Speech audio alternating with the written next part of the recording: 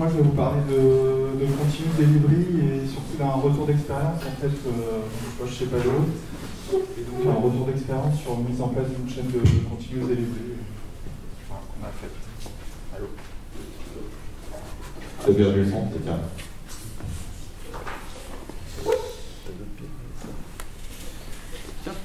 Merci. Euh, donc du coup, je vais vous faire un petit sommaire, je vais vous faire une rapide présentation, vous poser le décor, euh, parler d'un projet en fait. euh, donc la première version en fait, c'était un projet qu'on a appelé intégration continue. On a fait en 2013. Donc euh, voilà, les trois premiers, points, ça va être assez rapide et puis plutôt s'étendre sur le dernier point où on a un peu tout refait et où on a appris un peu de nos erreurs. réalité. En deux mots, donc je vous ai dit Demaret, donc je suis chef de projet et team leader de l'é- de l'équipe technique euh, donc sur le portail euh, donc pour les fixes. Euh, et donc je m'occupe notamment, enfin l'équipe s'occupe notamment des projets Continuous Delivery, Traffic Manager, euh, Feature Flipping, Perf, socle technique, voilà. En gros tout ce qui n'est pas demandé par les métiers, mais toutes les, toutes les couches techniques en fait. Et donc Sylvain Rivero, bah, je me suis présenté tout à l'heure, donc je suis consultant chez S2I. La raison pour laquelle, euh, la raison pour laquelle je, je vais euh, assister Christophe euh, sur cette, euh, sur cette présentation, c'est que les- ça fait maintenant deux ans que, que j'accompagne Christophe et son équipe euh, sur la réflexion autour de la, de la plateforme de, de Continuous Delivery et sur la mise en œuvre de l'outillage. Alors le décor, euh, en quelques mots, donc euh, moi quand je suis arrivé chez Page Jaune, euh, tout d'abord en fait il y avait déjà des outils, donc notamment de Jenkins, on avait du deploy donc, qui permet de faire des déploiements, SVR. Il y avait des tests automatisés, donc on avait grosso modo 4500 tests automatisés en Selenium 1. Enfin, disons un ensemble d'outils, mais le seul truc, c'est que chaque étape était lancée euh, manuellement. Donc il y avait toujours quelqu'un pour cliquer sur le bouton pour faire l'étape d'après. Euh, voilà, c'était un peu le. à l'époque quand on est arrivé. Le portail, donc euh, le portail pageone.fr, euh, à l'époque c'était 30 web apps, 200 composants. Il y avait trois branches de dev, des liens un peu dans tous les sens. Et donc ça donnait à peu près ça, quoi. un joli plat de spaghetti, euh, joli, mais quand même assez, euh, assez compliqué à maintenir et puis de plus en plus compliqué en fait. Euh, Au niveau de l'organisation, ce qu'on avait noté, c'était que bah, les équipes étaient très siloisées. Donc, euh, on avait une équipe de développeurs, une équipe de testeurs, une équipe d'intégration des ops, et, euh, ça, se, ça se parlait qu'à des points de rencontre du, TTM, mais euh, les, les équipes n'étaient pas, pas intégrées. Et puis, euh, la, mise au point, enfin, une des conséquences de tout ça, c'était que la, mise au point était compliquée. Euh, en gros, à, chaque cycle de dev qui durait à peu près six semaines, euh, il fallait, enfin, à chaque cycle de, de dev pardon, qui durait à peu près 10 semaines, il fallait 6 semaines pour agréger, tester, mettre en pré-prod, retester, remettre, et, puis, et puis mettre en prod. Et euh, il y avait un certain nombre de, bugs de dev euh, qui étaient vus que à ce moment-là parce que, euh, bah, parce que pas suffisamment intégrés et, pas suffisamment testés en, amont. Et il y avait une approche, qu'on a appelée industrielle, dans le sens où on était vraiment dans un esprit d'une chaîne de montage automobile. C'est-à-dire qu'il y avait une première étape qui était faite, et puis on passait la main au suivant qui faisait une étape, etc. Et finalement, le, le fait qu'il n'y ait pas de il n'y ait pas réellement de dialogue transverse faisait que bah, des choses qui avaient été ratées à la première étape, il fallait attendre la dernière étape pour s'en rendre. Et bug bloquant, on avait euh, bah, toujours le, ça marchait sur mon PC et ça marche pas là. Celle-là, on l'a eu plein de fois. Il y avait, euh, enfin, des fois, la, recherche ne marchait pas. C'est sûr qu'après, c'est un peu dur de tester. C'est un peu le but principal du, portail quand même. Enfin, ouais, il y avait des beaux trucs. quand même. Euh, donc du coup, moi, quand je suis arrivé, l'idée, ça a été de dire, ben, on va essayer de, pousser, d'améliorer un peu tout ça, de mettre un peu d'huile dans les rouages, et effectivement, d'où est né le projet d'intégration continue en 2013. Alors, un seul objectif, euh, c'est simple, c'était de réduire de deux semaines la phase de mise au point, donc elle était de six semaines. Euh, L'idée, c'était de dire, on supprime vraiment tous les temps morts, et euh, normalement, rien qu'en faisant juste ça, euh, bah, on est capable de réduire de deux semaines la, phase de mise au point. Donc on était encore assez éloigné de l'approche continuous delivery. Hein. L'idée c'était d'être capable de se rendre compte de choses plus tôt dans, la, phase de développement. Alors pour ça, en fait, avec Sylvain, on avait pensé à trois, trois cycles.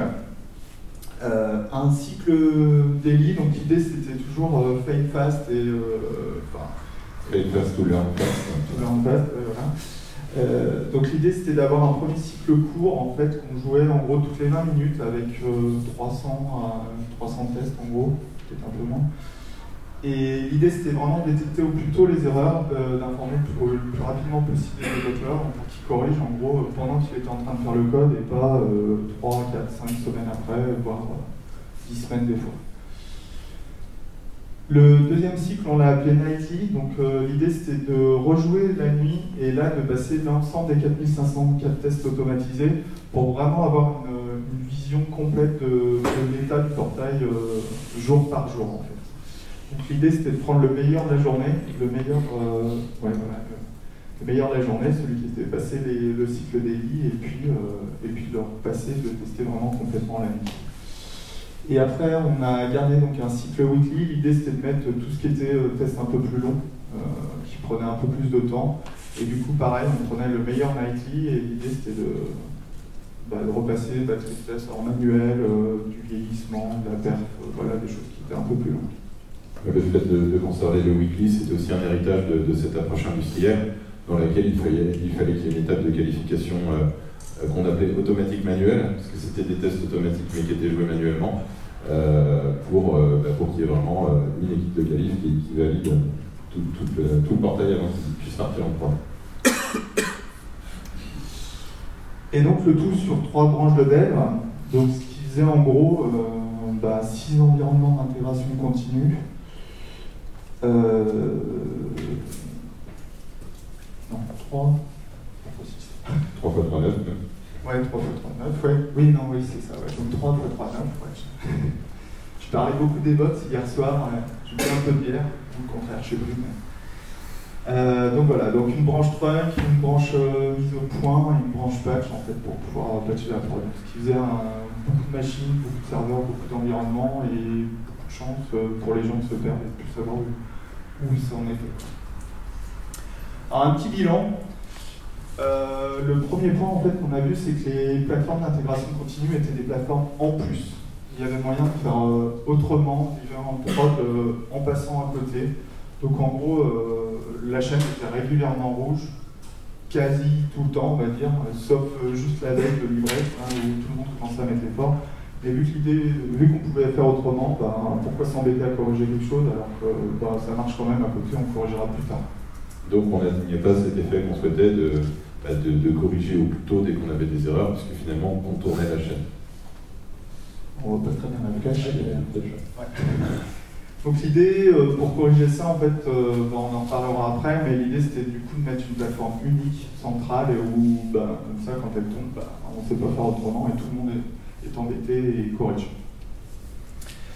Il y avait trop de dépendance entre composants, ce que je disais, il y a 200 composants, 30 web apps, alors des web apps appelaient d'autres web apps, des composants s'appelaient, puis des moments pour des problèmes de perte, on appelait directement, et puis des moments, bah, en fait, on faisait tout bien, enfin, black spaghetti, je ne vais pas y revenir.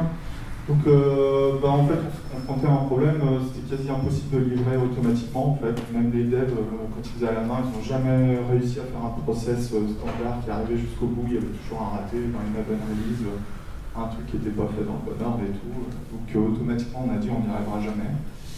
Et puis une grosse difficulté aussi, c'était grosse difficulté de cibler en fait le committeur. Donc le, le développeur committait et en fait, il était un truc à l'autre bout du portail sans vraiment s'en rendre compte. C'était rouge, lui, il n'avait pas vraiment moyen de savoir que c'était lui. La chaîne n'avait pas vraiment moyen de détecter c'était lui parce qu'il fallait passer par plein de composants, plein de chemins et tout. Donc, du coup, assez difficile, et ce qui n'arrangeait pas pour corriger plus vite. En fait. Avec des, des, mailing lists. Euh, donc il y avait des mails qui étaient envoyés quand il y avait quelque chose qui était, mais comme on n'était pas capable de cibler euh, réellement le committeur, voire c'était pas quelqu'un qui travaillait sur, euh, sur cette brique-là, et du coup un, effet, ah bah non c'est pas moi, donc je, laisse tomber le mail, enfin, j'oublie le mail et finalement personne personne n'allait corriger. Donc pour améliorer ça, en fait, il y a eu notamment, verra, une grosse révision de l'architecture, vraiment une refonte complète du portail. Un autre point, c'était qu'on avait donc les 4504 tests, euh, bah, c'était un bon volume de pas mal de tests quand même, on peut dire, sauf qu'ils étaient tous par le front. Donc en gros, euh, euh, bah, même si ça pétait au fin fond dans un composant qui faisait remonter l'erreur, bah, en gros c'était vraiment un test front qui pétait et on n'était pas capable rapidement comme ça en un coup d'œil de dire bah, tiens c'est là, c'est dans cette petite partie du portail qu'il y a un problème en fait. Donc ça, euh, ça complexifie les investigations, ça rajoute du délai, et donc on n'est pas, euh, pareil, je corrige vite, je suis averti vite, et, je peux corriger rapidement et simplement. Donc l'idée, euh, par la suite, on a mis en place une pyramide de tests. Donc beaucoup de tests à la base, et puis plus on s'approche du front, moins on a de tests. Alors, euh, un vieux serpent de mer chez Page Jaune. Alors, les données, en fait, elles arrivent de tous les six pages jaunes. Donc, il y a, je sais plus, 30, 35 flux différents, avec des modèles différents. À la fin, il y a un centre de gestion qui, qui secoue tout ça, qui sort des blocs, et paf, ça apparaît. C'est magique, sauf que personne ne sait comment ça marche. Euh, enfin, c'est une personne. euh, donc oui, l'idée, on s'est dit, bah, les données, le serpent de mer, on va faire bah, Tiens, on va faire une photo, on va faire des données figées, on va prendre une photo de la prod et puis on va lancer, attends, on va lancer les tests. Pardon, je suis parti dans le sens. Donc on va lancer les tests. Euh, le problème, c'est que chaque, chaque nouvelle photo, bah, en fait, il fallait repasser sur tous les tests qui plantaient. des fois, ça nécessitait deux à trois jours de, travail rien euh, pour éliminer tous les faux négatifs. C'est-à-dire la donnée a changé, le, alors le pro qui n'a plus tel produit de pub, eh ben, il était pris dans ce cas de test-là, puis ben, maintenant il faut en trouver un autre qui a un produit de pub équivalent. Il, y a des, il cas qui sont simples, il y en a où le fonctionnel est assez compliqué, donc euh, ben, le recetteur il mettait 3, 4, 5 heures à, essayer de trouver euh, juste la donnée. Donc c'était assez problématique de ces systèmes de photos d'être sans arrêt à corriger en fait des tests, enfin ça n'a pas de plus-value juste pour une histoire donnée. Et qui plus est, on, avait parfois du mal à détecter, à savoir si c'était le code qui avait un problème ou le test qui avait un problème. Donc euh, une des idées, c'était de dire on va faire de l'alimentation continue, on va arrêter les photos et puis euh, on va faire de l'alimentation continue de données et puis comme ça, on va voir les impacts que ça a eu. Et donc en parallèle, euh, en fait, on a fait il y a eu aussi un changement d'organisation justement pour éliminer les silos dont on parlait Sylvain en fait, on a réorganisé les équipes en mixant les métiers. Euh, donc ça, c'est vraiment venu du management. Et, du coup, euh, avec la mise en place notamment du feature team, que nous on appelle collaborative team, hein, je sais pas jaune, c'est feature team, qui regroupe des devs, des recetteurs, euh, des intégrateurs, ça dépend des équipes. Et les PO, les métiers qui sont intégrés aussi, voire le marketing, ça Donc ça, ça rejoint un peu ce que disait Sébastien tout à l'heure, hein, c'est que si si on n'est pas capable de faire bouger l'organisation euh, et si on reste complètement siloisé, de toute façon l'approche elle ne va pas fonctionner puisqu'on est sur des silos qui ont des objectifs différents et, euh, on ne va pas réussir à trouver un objectif transverse euh, commun. Alors maintenant on à l'année dernière, donc 2014, suite à tout ce bilan, en fait on a dit bon bah c'est bien mais ça suffit pas, on a réussi grosso modo à quand même gagner nos deux semaines, plus ou moins. Euh, donc on, a vraiment vu que ça apportait quand même, mais bon, on s'est dit, euh, bah, faut quand même refaire. on, va, veut plutôt faire en continuous delivery. Alors, euh, les enjeux et contraintes, en fait, donc il y a des enjeux, c'est le management qui nous a dit, bah, voilà, on veut faire ça. Typiquement, l'idée c'est de faire une mètre par semaine. Le portail avant c'était une mètre tous les deux mois et demi, enfin ça dépend, un mois et demi, deux mois. Là, on veut forcer à aller à une mètre par semaine, et une fois qu'on sera à une mètre par semaine, euh, l'idée c'était de dire bah, on ira encore plus vite, euh, peut-être deux par semaine, peut-être une par jour. et plus. Euh, un autre point, on voulait être cloud compliant. Ça veut dire que, en fait, bah, tout à l'heure je vous parlais des plateformes. Donc, typiquement, le portail, toute la compte des plateformes était générée dès le début. Donc, il y y avait 9 plateformes de dev, 12 plateformes d'intégration, les 9 plateformes d'intégration continue, plus toutes les plateformes de prod. Donc on est arrivé grosso modo à générer 40 ou 50 comptes différentes. Et puis une fois que c'est généré, bah, si jamais on prend un besoin de rajouter une plateforme, bah, il fallait générer de la conf et donc repartir du début. Et évidemment, tout ça, ça tournait tout le temps, même quand c'était pas utilisé. Exactement. Et du coup, euh, du coup Page était un, bon, un bon client des fabricants de silicium. donc l'idée, c'était de dire, bah, web cloud compliant est un peu plus élastique. Alors, euh, un autre point, c'est une seule branche de dev. Ce qu'on veut, c'est on veut plus gérer euh, trois branches de dev euh, avec les reports, les oublis de report, et tout ce qu'on veut. surtout qu'on était sur SVN avant, on est passé sur Git. Ça améliore quand même, mais bon, l'idée c'était de dire, bah, on se prend plus la tête. Vraiment, on a une branche de dev et tout le monde pousse sur cette branche, et comme ça, on voit tout de suite si le, code fait par les différentes équipes est compatible. Et donc, un peu un dérivé, c'est du coup, avec une branche de dev, on, veut mettre en place aussi du feature clipping. Euh, tout le monde connaît Feature Clipping, ce que c'est. Euh, grosso modo, je prends le truc, si tu vas dans les labs Gmail, dans Gmail, et puis tu coches une petite cage, puis paf, il y a la fonctionnalité qui est là. Donc c'est en gros, le code est là, mais il n'est pas actif. Donc nous, ce qu'on veut faire, on ne veut pas que nos utilisateurs activent des fonctionnalités, on veut que ce soit nous, mais le principe est là.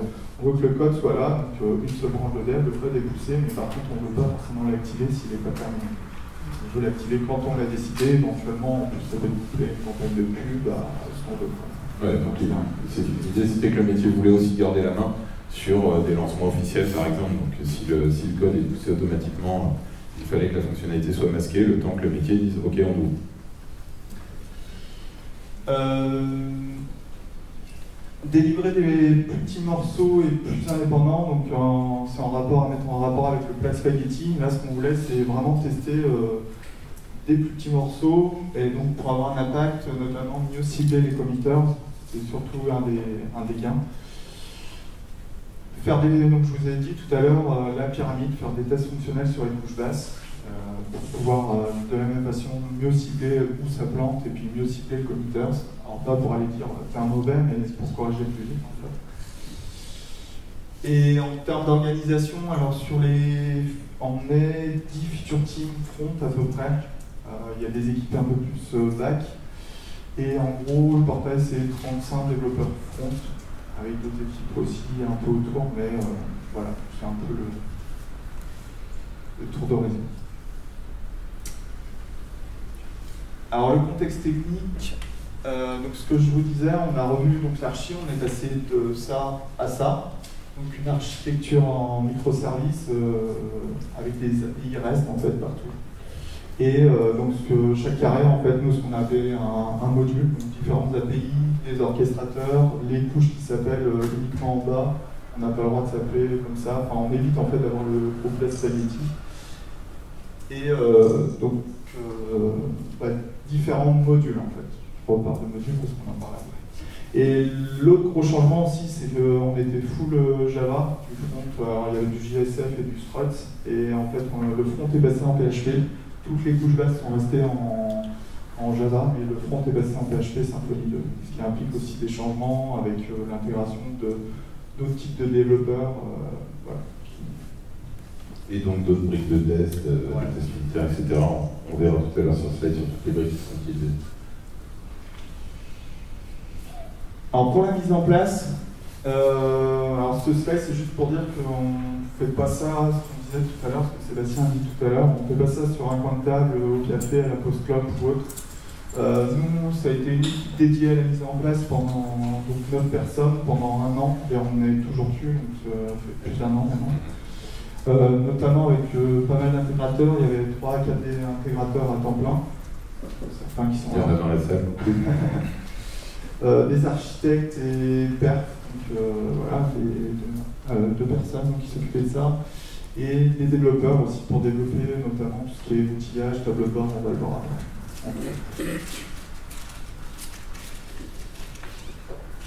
Allez, vas-y, le schéma ah Le schéma typique. Le schéma typique. Donc là, en fait, voilà, ça c'est notre chaîne. Donc c'est notre chaîne euh, Continuous Delivery. Donc euh, je vais vous la détailler. Alors l'idée c'est toujours euh, tester plus vite, plus petit sur les modules indépendants et faire le retour le plus rapide aux développeurs. C'est pour ça qu'en gros, en gros la durée de chaque étape, c'est important, on essaye en fait de vraiment de garder que cette durée ne dérive pas. On ne doit pas arriver à, mettre 40 euh, minutes pour faire un build et puis euh, je ne sais combien de temps, deux heures pour tester parce que ça perd d'intérêt aussi. Donc l'idée en fait c'est de dire bah, les développeurs vont pusher en fait dans Là, on est passé sous Git, hein, font un push en fait sur la branche développe. Donc, que nous, on n'a plus qu'une branche, la chaîne ne scrute que cette branche. Ils vont pousser leurs modifications et là, toute la chaîne va se mettre en place en fait, automatiquement. Euh, donc on a, c'est piloté par Jenkins. Je pas sur le schéma. Donc on a fait une première étape, l'étape 1A. Euh, L'idée c'est de faire le build TU, le basique, quoi, et de la calimétrie, hein, soit sonar euh, côté euh, Sonar, les règles checkstyle et tout côté Java, et puis on a du côté PHP, le même outillage, quoi, euh, PHP Metrics et tout, ça on verra après. L'idée c'est de dire, bah, mon module, je fais cette première étape, il est rouge, bah, je m'arrête là, il est vert, je continue. Et ça pour chaque module, en fait, en parallèle.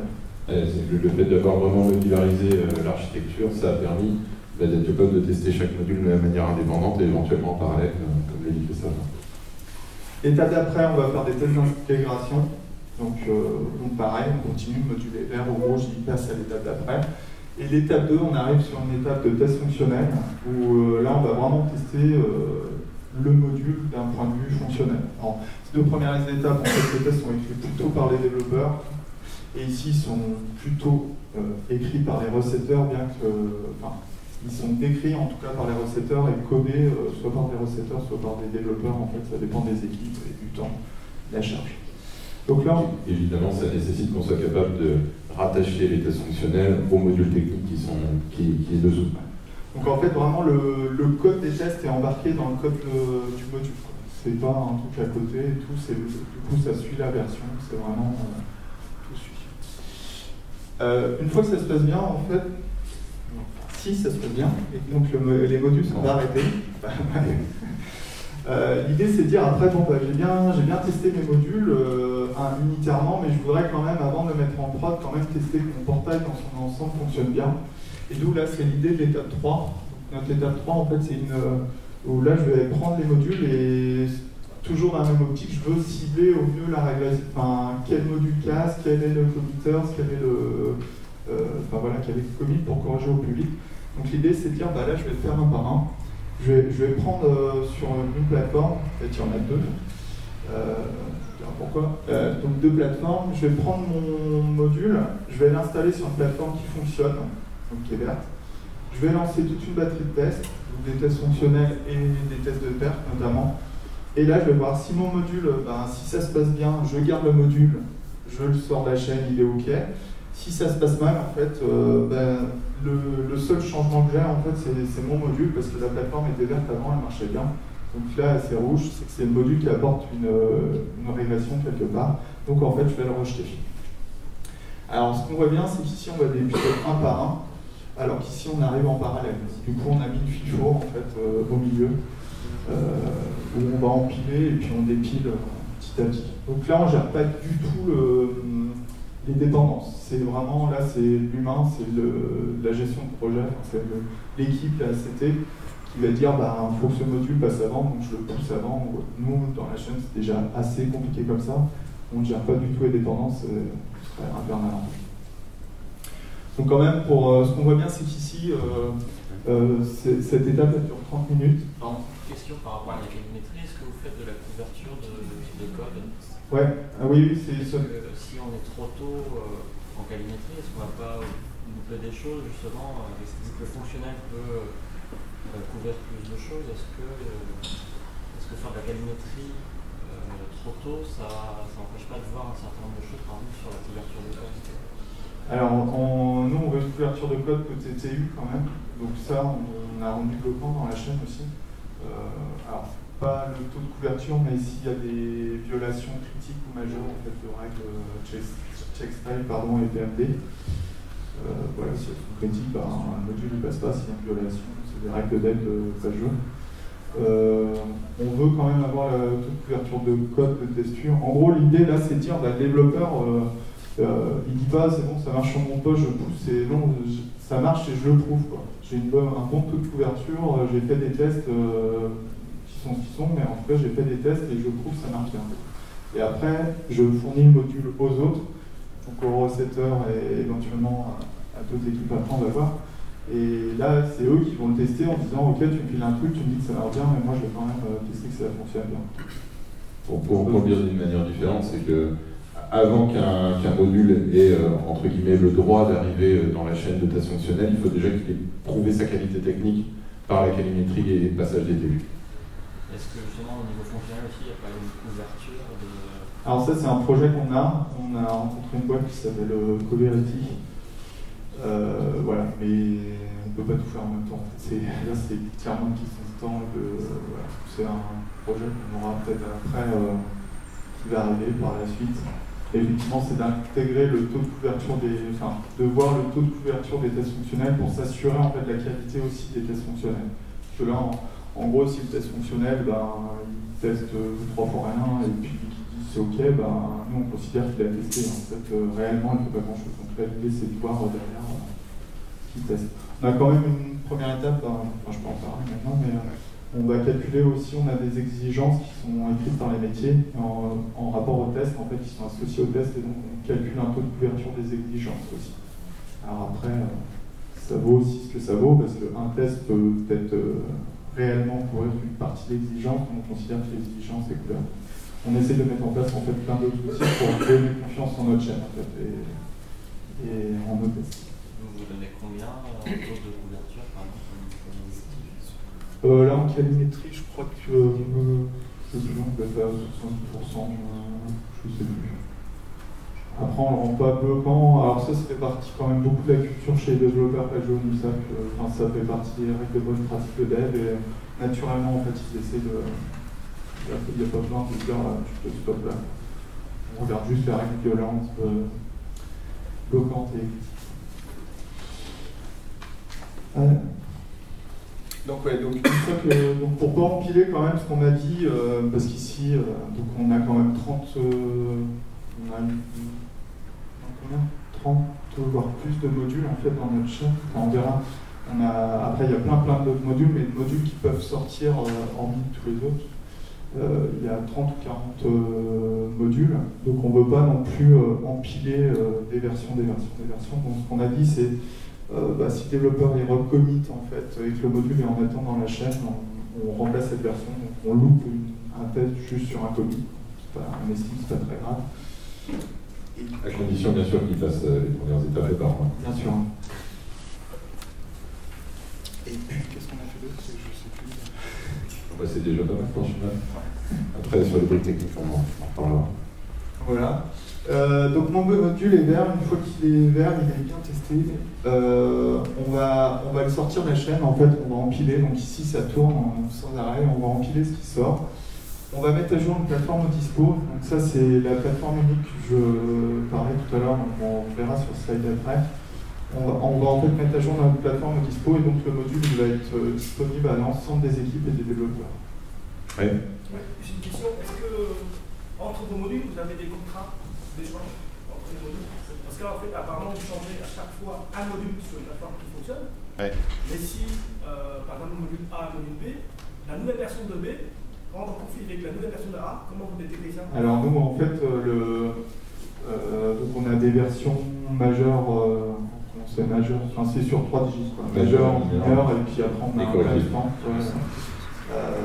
donc déjà c'est la chaîne qui livre, et en fait la version majeure assure la rétrocompatibilité. Si on n'est plus rétrocompatible, on va changer de version majeure et on va considérer que c'est un autre module en fait. La chaîne considérera que ce sera plus la branche développe-1, mais la branche développe-2, et donc on prendra comme si c'était un autre module, en fait, parce que les deux pourront être en prod et les applis pourront, pourront migrer petit à petit sur cette nouvelle version.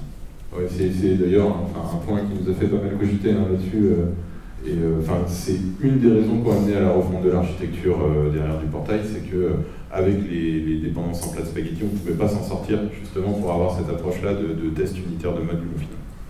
Après, une des choses, alors je ne l'ai pas dit, mais en fait, à l'étape 2, ici, on va installer vraiment le, module. C'est l'API, l'orchestrateur ou autre. Et pour tout le reste du monde, en fait, où il a besoin de fonctionner, parce qu'une API toute seule, euh, si elle n'a pas sa base, si elle n'a pas éventuellement les couches du dessus, enfin un orchestrateur, s'il n'a pas les API en dessous, c'est pas faire, hein, c'est pas fonctionner. Donc en fait, on va s'appuyer sur cette plateforme-là. Donc les tests, ils passent là, nous on va tester vraiment le module, on va rentrer directement sur lui, on passe pas par les couches du dessus, par contre pour tout le reste, toutes ces dépendances, il va aller taper là.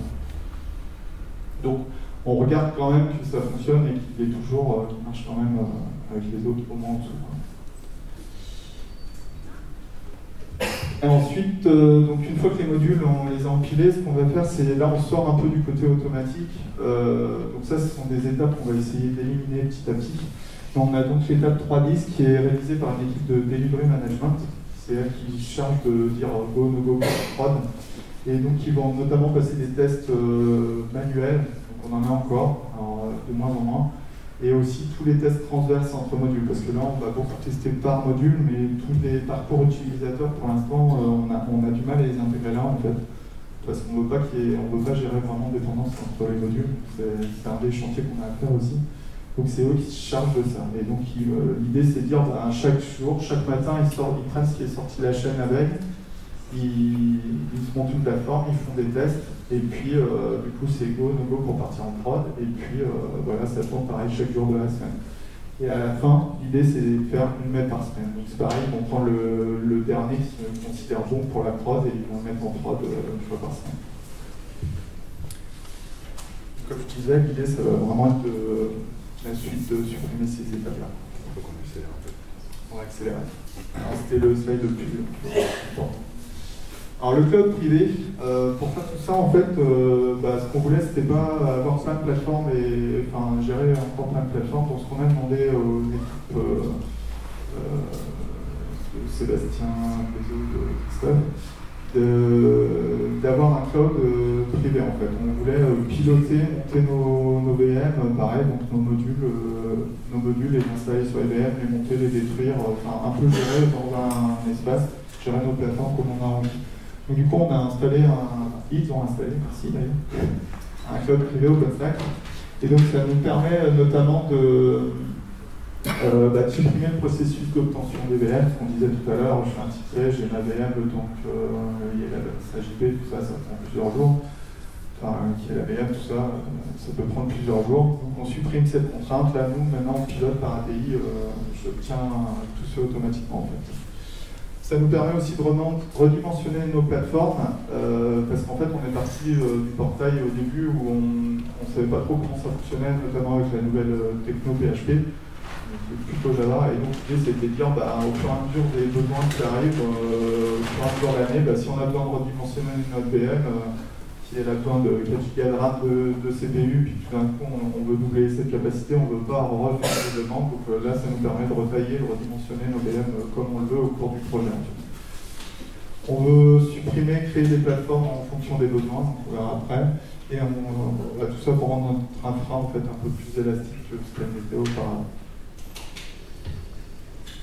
Un petit slide sur l'infra. Du coup, j'ai représenté les différentes étapes de la chaîne. Donc, nos VM, en fait, euh, euh, bah, les, enfin, les tests étape 1, B et 2, donc on les monte, euh, effectivement, on va monter nos modules sur un VM, VM unitaire, et on va taper effectivement sur la plateforme Dispo, que je disais, qui elle va aller euh, pointer vers nos différents back-office.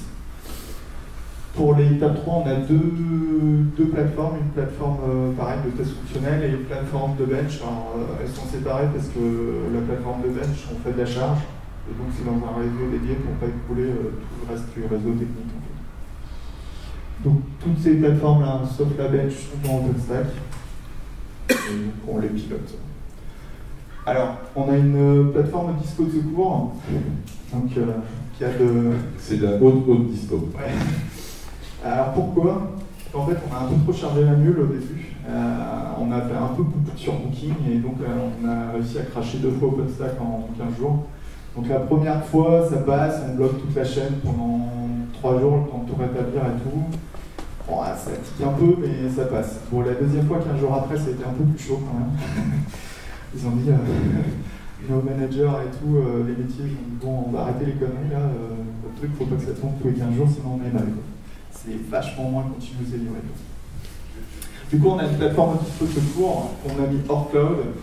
On a aussi baissé le surbooking, euh, voilà, on a appris nos erreurs. Et donc l'idée c'est de dire, ben, si on recrache une fois OpenStack, euh, ce qui n'est pas arrivé depuis des mois, euh, ben, on switch automatiquement sur la plateforme au dispo tout court et du coup on bloque pas tout le monde. Parce que là, quand on a plus ça, en fait, tous les bugs s'arrêtent.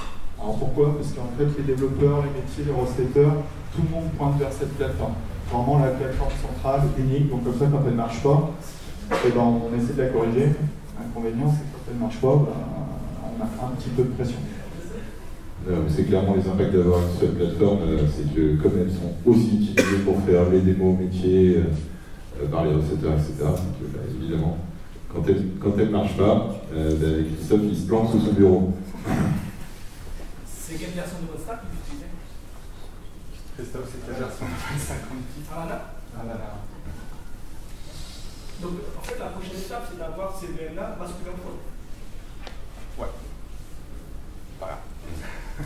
T'as ta roadmap, Christophe. c'est clairement un projet qui est encore, enfin, qui débute.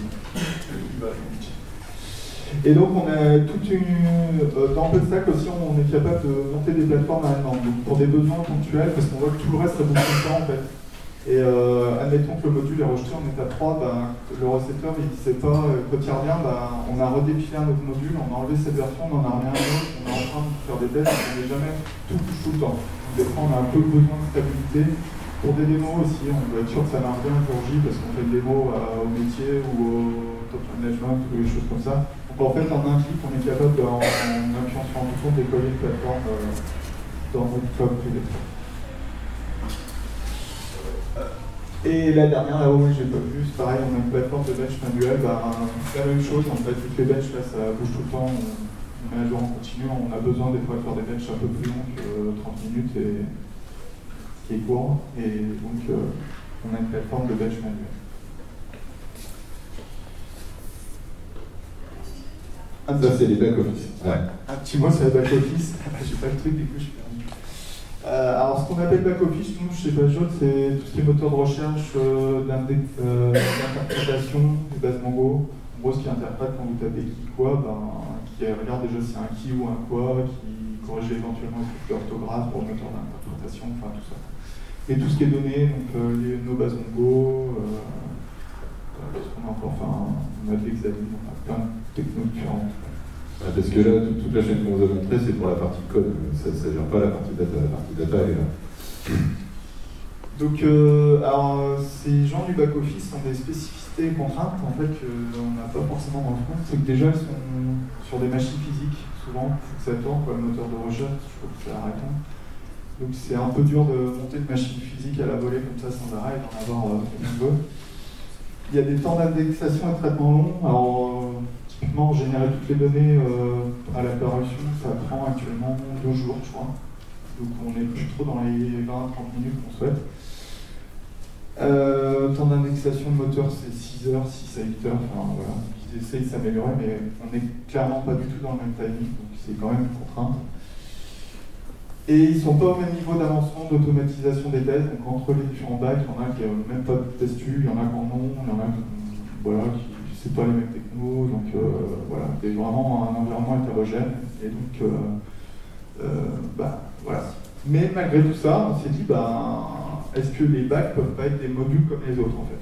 Parce que sur l'intégration continue, on les avait mis un peu à côté, mais là on s'est dit, enfin, ça n'aide pas à avancer tous dans la même direction. On voudrait qu'ils soient un peu des modules comme les autres. Et puis il faut se donner les moyens de, bah, tester quand le modèle de data en dessous évolue, quand, quand tout simplement euh, technologiquement le, le, bac monte maintenant.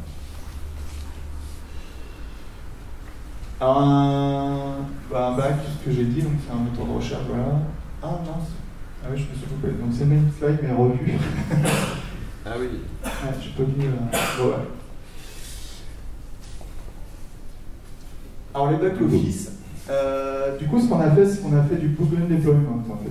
On s'est dit, ben, ce qu'on va faire, c'est qu'on a toute notre chaîne qui va tourner sur un bac euh, en version N. On va, les équipes back vont nous dire, ben voilà, on va vous livrer un nouveau moteur de recherche en telle version. Ce qu'on a fait, c'est qu'on a un module qui s'appelle Switch Back, alors Switch Moteur Vertim ou autre pour nommer, puis Switch euh, Bell pour moteur d'interprétation. Et donc il va, ce module va passer dans la chaîne, et donc il va arriver à l'étape 3. Et en fait, ce qu'on va faire, c'est qu'on va switcher. On a des bits, donc on va, on, va taper sur la version N plus 1, on va relancer notre batterie de test, donc on va vérifier qu'il n'y a pas de régression. Eux, avant, ils auront le temps de régénérer toutes leurs données, refaire l'indexation, tout ce qu'il faut. Euh, c'est hors chaîne, donc ils, ils prennent tout le temps qu'ils veulent. On va switcher on va lancer notre batterie de test. Si ça se passe mal, ben on revient comme avant. Si ça se passe bien, en fait, ce qu'on va faire, c'est qu'on va switcher l'autre partie de notre plateforme au dispo et on va dire maintenant la version c'est celle-là. Et du coup, ce bac qui était euh, online devient offline. Et donc, ils vont pouvoir euh, continuer à travailler sur la version d'après et pareil, donc mettre le même cycle.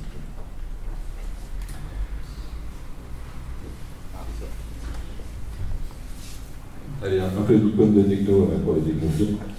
Alors ça, j'ai essayé de représenter alors voilà, un peu les, du coup, les différents outils qu'on utilise. Alors il y en a quelques-uns. Voilà, donc euh, tout ce qui est euh, testu, alors Maven, Git, euh, tout ça, on a PHP Metric, Composer, enfin les équivalents que les PHP. On fait un peu d'Ansible avant pour faire des provisioning de VM aussi, donc ça c'est on le met en place, on en puissance là-dessus. L'étape 2, on, on utilise XL Deploy, permet de gérer tous les déploiements sur nos machines. On stack. Et puis après, les tests, c'est du Restation, du Selenium, on utilise Elasticsearch, on va voir euh, pourquoi après. Et notamment, on a la partie Polarion, c'est notre outil JEX en fait, qui nous permet de. Notre chaîne, à chaque étape, on va calculer des taux de couverture de tests. Euh, nos tests sont classifiés en, fait, en niveau de criticité avec des seuils, et donc on va calculer en fait, euh, pour chaque niveau de criticité, sur chaque module, est-ce qu'on est en dessous ou en dessous du seuil, ce qui va permettre en fait de, de quand même pas bloquer pour tous les tests, ce qui été fait au début, mais de dire bah, ce test est mineur, euh, on veut avoir l'info que, que, bah, que ça ne fonctionne pas, mais par contre c'est pas bloquant en prod, donc on, va mettre un seuil beaucoup plus bas. Par contre, sur les tests critiques, on a un seuil à 100%. voilà, comme ça, ça nous permet d'avoir des, des, niveaux de seuil par, enfin, des seuils par niveau de criticité nous permet aussi de calculer un taux de couverture de GEX. Voilà, donc on s'interface en fait avec Polar. Euh... Quelques des, des dashboards du coup, qui sont, mis à disposition. Donc, euh, euh, si vous avez écouté Sébastien tout à l'heure, il, vous parlait de, de l'importance des métriques, de se mesurer, etc.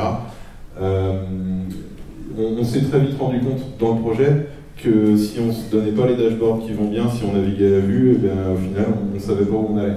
Euh, au départ, on est parti en se disant bon, bah, on va enrichir les dashboards de Sonar, on va rajouter des trucs dedans. On s'est vite rendu compte aussi que c'était pas l'outil pour le faire.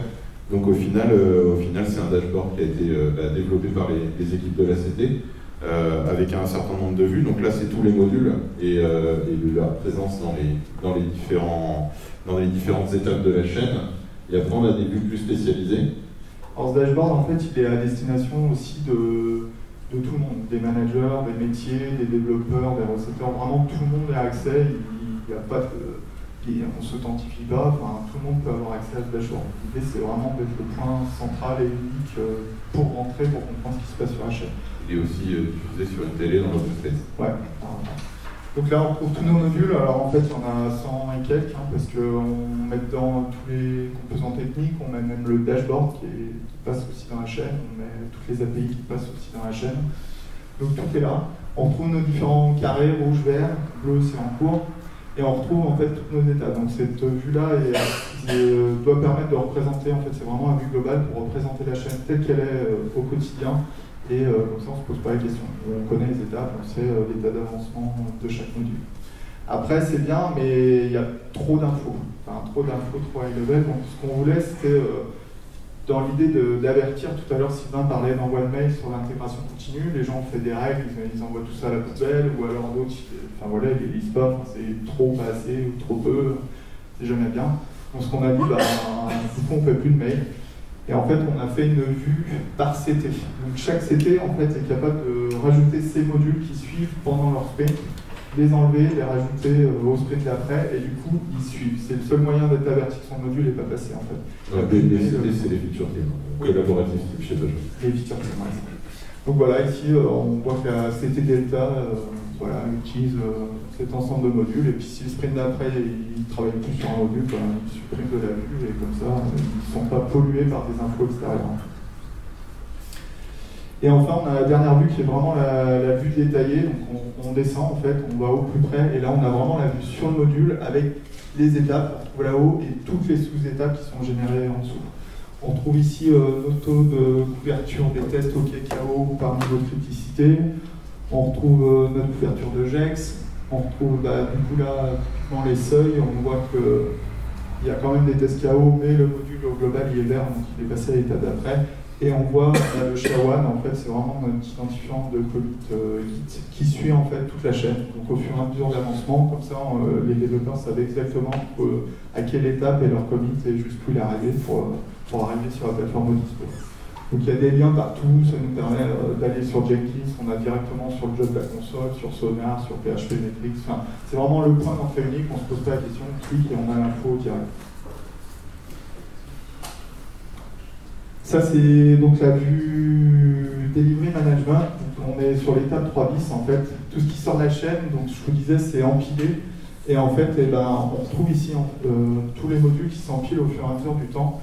Et eux, une fois par jour, ils vont cliquer et ils vont, et ce qui va leur permettre de faire euh, cliquer, déployer euh, notamment leur plateforme 3 bis.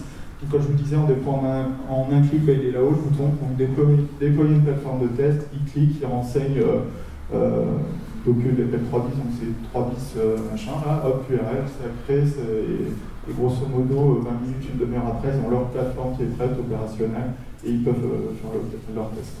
Donc là, on voit toute la puissance d'avoir un cloud privé derrière, plus des outils provisioning, c'est qu'en un clic, on, déploie tout un ensemble cohérent de VM. C'est 8 VM, c'est ça, qui sont déployés pour un.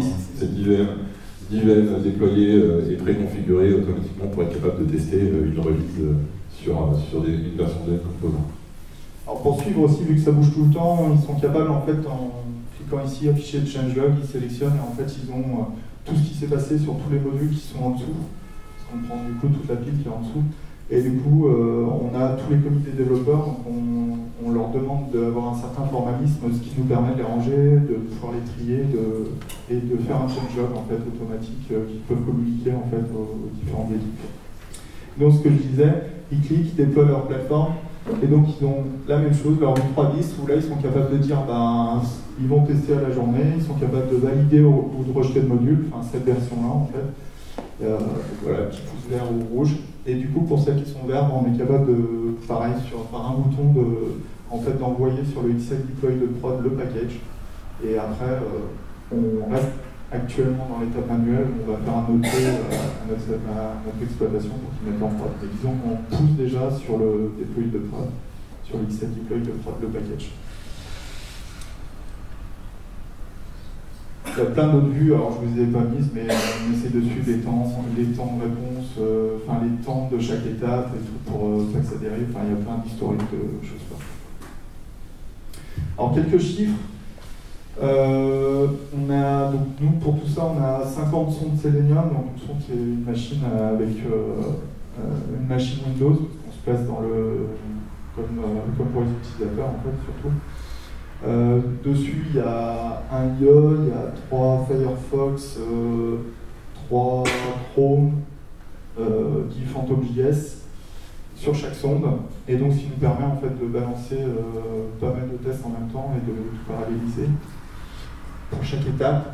Notre nombre de modules, donc euh, là, je vous décompte, on était à 113 modules, 400 tests exécutés à l'étape 3 euh, toutes les 30 minutes. Euh, on avait, alors, ça date de début d'année, mais 852 jobs Jenkins pour orchestrer tout ça. Et... Alors, il faut savoir aussi, quand on crée le projet sous tout se crée automatiquement. Les jobs Jenkins se créent automatiquement. On n'est pas là à aller tout créer. Ça, on crée bah, toute la chaîne, tout le flow, les, On a à l'époque ouais, 2454 euh, tests à l'étape 2. Et euh, donc en 2014, entre le 1er avril et le fin décembre, on a fait 12 000 déploiements d'intégration, ce qui fait à peu près 66 par jour ouvré euh, sur différentes plateformes. Donc, déploiement de, VM et de, à l'étape 2 et de chaque, chaque portail sur les différentes plateformes. Donc ça tourne un petit peu quand même. Alors, un petit point de difficulté sur, euh, sur les données euh, euh, qu'on a rencontrées. hein. Ce qu'on disait tout à l'heure, c'est que. Tu vas regarder là Ah, On est en retard. Euh, ce qu'on disait tout à l'heure, c'est que la, la difficulté à faire des tests quand on est dans un environnement assez figé avec des données qui bougent peu, ben, les tests bougent peu. Euh, par contre, quand on, quand on prend la décision de dire OK, on va alimenter les plateformes de test en données de la prod, on tombe dans quelques petits problèmes.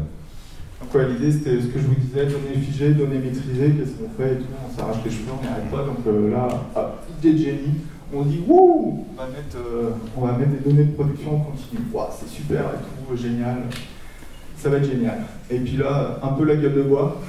Euh, mais en fait, euh, comment je fais ces tests? Comment est-ce que je teste tout le temps avec ces données qui bougent tout le temps? Comment, comment je peux m'en sortir en fait?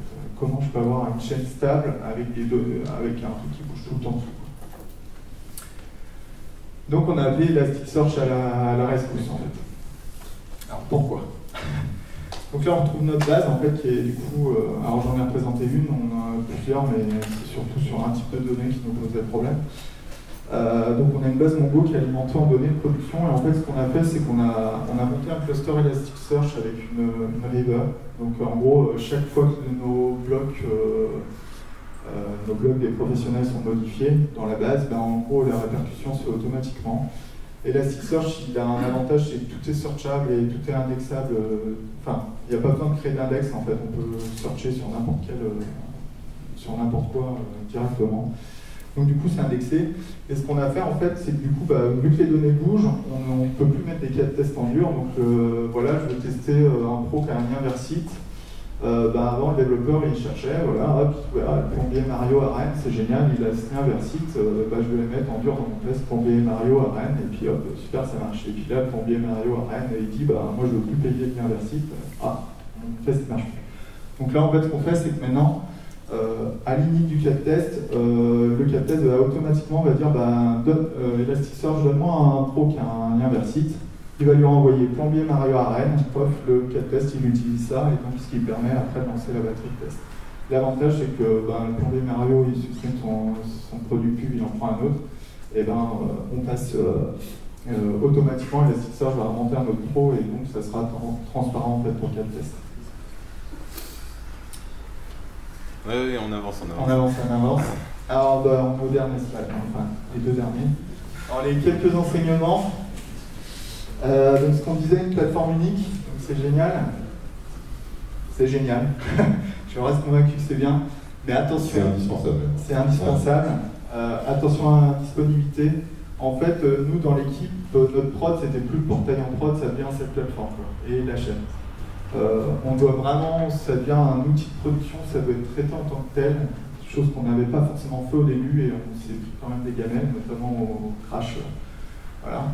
Euh, donc avec les contraintes de production. Quand, quand je suis retourné voir Christophe il y a, quelques temps, j'ai repris ma casquette de barbu euh, un peu au-dessus et je lui ai dit mais comment tu la supervises ta, ta plateforme?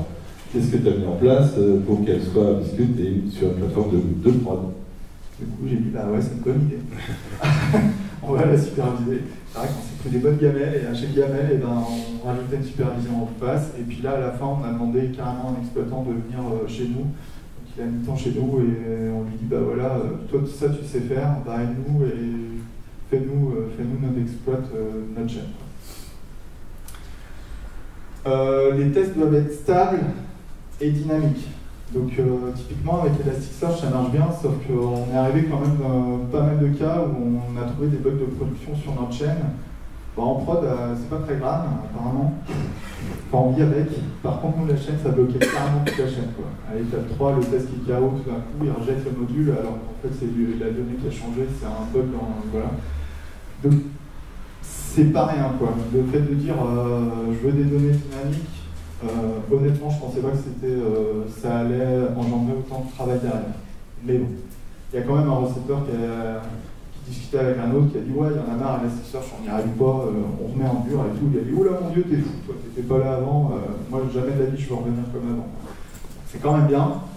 Euh, Vous l'avez vu, vous l'avez vu, enfin, vous l'avez déjà expliqué, hein, l'OpenStack c'était un gros, un gros apport, hein, le côté élastique du cloud et puis le côté self-service pour les, pour les développeurs d'être capables de se monter, se monter une plateforme de manière automatisée. Par contre, ouais, attention au succès, parce que il faut être capable de gérer le cycle de vie des plateformes éphémères, par exemple, parce que sinon on se retrouve vite à consommer du CPU et de la mémoire au-delà de ce qu'on a réellement. Donc à faire du surprovisioning et donc à, à, vautrer les machines, on va le dire comme ça. Hein. Ouais, voilà. C'est vrai qu'on n'est pas chez Amazon. Tout ce data center. Comme je, suis, je vais voir Christophe à peu près une fois par semaine pour quémander un peu plus de RAM, un peu plus de VCPU. Il me dit bah, j'ai pas de sous. Et, puis les métriques, ouais. donc les métriques, euh, tout ça pour dire en fait dans chaque bureau, euh, enfin c'est pas juste comme ça. Donc euh, déjà tous les postes, enfin tous les postes, les gens vont voir les dashboards et en plus on a des télés dans chaque bureau, dans l'open space partout où les dashboards ils tournent en continu et ce qui fait que ça permet aux gens d'être informés et de discuter. Enfin voilà, c'est vraiment un support management visuel. Ouais. Quel est le coût de votre dashboard au final? Le coût, alors, euh, ben, c'était un, développeur, euh, on a mis un développeur à peu près la moitié de l'année. Puis là, on continue les évolutions. Mais ouais, c'est voilà, pas une personne à temps plein, mais. Donc il fait partie d'une autre chaîne de qualité Ah non, il est dans l'équipe. Hein. Non, parce qu'apparemment, il est primordial pour votre développement. Donc il faut aussi qu'il ah, il, passe dans la chaîne de. Il passe dans la chaîne, comme les autres modules. Ouais, il est testé et tout, pareil. Parce qu'en fait, on envoie des métriques au dashboard, euh, enfin voilà, et, quand le dashboard tombe, en fait, la chaîne s'arrête aussi. Mais je crois que le sujet, c'est pas pour le coup que le gain. Hmm. Voilà. Euh, autre enseignement, euh, oui, il y a une petite difficulté qu'on a toujours, c'est le compromis entre la rapidité des développements et les besoins de qualité pour la production. En fait. Typiquement, les développeurs ils aimeraient qu'à la fin de l'étape 2, leur module il soit déployé, même s'il pète derrière. C'est pas très grave parce que du coup, ils peuvent quand même le donner à leurs copains qui peuvent continuer ses devs. Et puis de l'autre côté, on a l'équipe de delivery management qui dit ouais, mais moi ton module, euh, moi je veux l'envoyer en prod et donc je veux pas, je veux pas qu'il soit moisi. Donc euh, on a toujours cette contrainte, cette FIFO qui prend du temps, euh, parce qu'on dépile 30 minutes par 30 minutes, donc euh, ça peut être assez long avant de le fournir aux autres équipes. On travaille à essayer de voir comment on réduit cette contrainte, mais voilà, on veut quand même la qualité, donc on ne veut pas non plus déployer n'importe quand, tout le temps, même un truc qui ne marche pas, parce que si on pète la plateforme et qu'on bloque tous les autres développeurs, c'est pas mieux non plus. Un autre point, c'est que quand on met quand on met une plateforme de continuous delivery comme ça au, cœur vraiment de, toute l'activité euh, de développement, de test, eh ben ça, ça, change les métiers, ça change le quotidien euh, et des développeurs et des recetteurs euh, et, des managers, etc. voire même le métier hein, qu'il faut aussi éduquer à la, capacité à, fournir rapidement de la fonctionnalité. Il y a eu le, le, feature flipping, il est aussi une de discussion avec le métier. Euh, donc il y, a, une phase de conduite du changement qui est, assez importante aussi. Euh, en, général, ça se passe plutôt pas mal parce que les gens voient l'intérêt euh, assez rapidement de, l'outil, mais, le, fait par exemple d'avoir été obligé de repasser sur une plateforme centrale, alors qu'au départ on s'était dit bah, juste en mettant du continuous delivery, en gardant des plateformes de démo, etc. à côté, les gens vont jouer le jeu, on s'est rendu compte quand même qu'à un moment donné, il faut contraindre. Il faut contraindre les gens à, à l'utilisation, qu'ils aient plus que ce moyen-là. Et, là, euh, bah, au final, ils sont bien obligés de l'adopter de toute façon. Dernier point, c'est le droit à l'expérimentation, effectivement. Donc on avait mis du quantiperf en étape 1B. Alors quantiperf, c'est pour faire du micro-bench. Euh, donc euh, on a trouvé un bug grâce à ça, peut-être trois semaines après qu'on l'ait mis en place. c'est génial, ça marche bien, on continue là-dedans. Et puis en fait, un an après, bah, on avait toujours trouvé qu'un seul bug. Donc on s'est dit, bon, bah, pour notre besoin en tout cas, ça ne servait pas, donc on l'a enlevé. Euh, la doc et non-shell, pareil, on génère la doc dans les étapes. Là, on essaie de voir pour passer en ramel. Euh, voilà. C'est quoi l'initial Je connais pas du tout? Euh, c'est de la description web service. Ouais, par, je crois par annotation, puis ça te génère une doc HTML en fait automatiquement.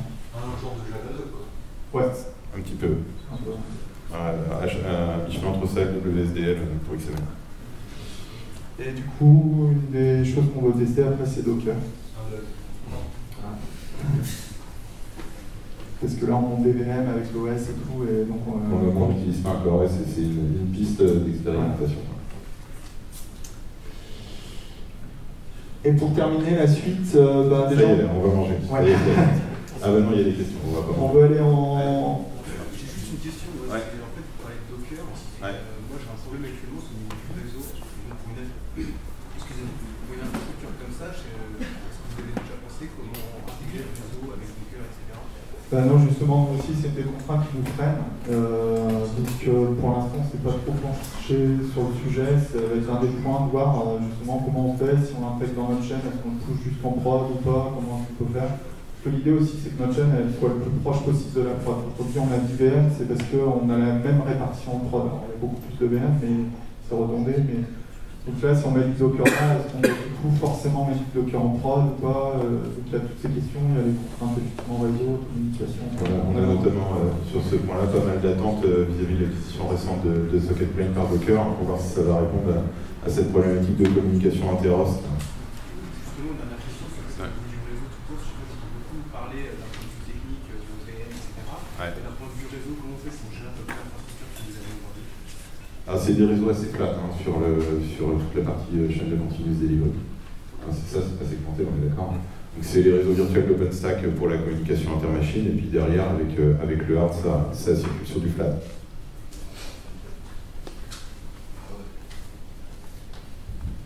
Donc la suite, bah, on veut faire la mise en prod en continu, parce qu'on a fait 12 000 déploiements d'intégration, c'est bien, mais quand même l'idée c'est d'aller jusqu'en prod. Euh, bah, c'est effectivement pousser encore la, pour le- la démarche DevOps. Ce que je disais, on a commencé à intégrer un exploitant, on va beaucoup plus travailler avec les systèmes réseau, même si on l'a déjà pas mal fait, mais l'idée ça va vraiment être de beaucoup plus travailler tous ensemble, de, de mettre en commun nos outils aussi. On n'est pas euh, des gens qui bossent avec euh, je sais pas quel outil et puis euh, de l'autre côté avec un autre et on ne sait pas se parler. Et d'intégrer dans la chaîne des éléments d'ops, donc euh, tester la supervision euh, dès, dès euh, Dès on a déjà commencé à intégrer des tests de supervision aussi dans la chaîne. Et, et puis effectivement, améliorer nos boucles de feedback euh, pour, pour euh, voilà, s'améliorer. C'est peut-être dans la conclusion, mais est-ce que vous avez mesuré les impacts sur le business suite à vos changements de web méthodo euh, 2000 avant 2014, 2014 et puis 2013 là, et, euh, de la- de l'intégration continue vers le continuous delivery euh, et avant? Est-ce qu'il y a des impacts sur le business? Est-ce que c'est bien de réduire le temps, tout ce temps-là en dev Et côté business, est-ce que ça, ça a remonté le, le, chiffre d'affaires Alors, euh, parce que bah, tout à l'heure, on en parlait, là on est vraiment dans la conduite du changement humain. Euh, actuellement, on a quand même encore un peu nos métiers qui réfléchissent portail, version. Et c'est vrai que ça crée pas mal de grains de sable. Parce que d'un côté, on essaie d'être en continu, de pousser tout le temps, même des petits évols, ça arrive en prod, et eux, ils veulent toujours euh, ouvrir à telle date. euh, euh, on ne peut pas euh, ouvrir avant à avoir tout cet ensemble-là, on ne sait pas faire ceci. Donc, c'est pareil, c'est en train de changer chez eux, ça pousse. Donc, je dirais qu'à l'heure actuelle, on n'a encore pas euh, de gains. Je ne peux pas te dire, ouais, on a gagné tant de temps, ça améliore. Hein, Pour le moment, les gains, ils sont essentiellement sur la qualité du logiciel produit. Voilà, la, la remontée au business, elle n'est pas encore visible parce qu'en effet, il y a cette conduite du changement à remonter aussi jusqu'au business. Voilà, c'est les questions. Tout le monde a faim. Bah, les questions. on- Ouais, on va les, on va les faire en mangeant. Et la bonne appétit. Merci.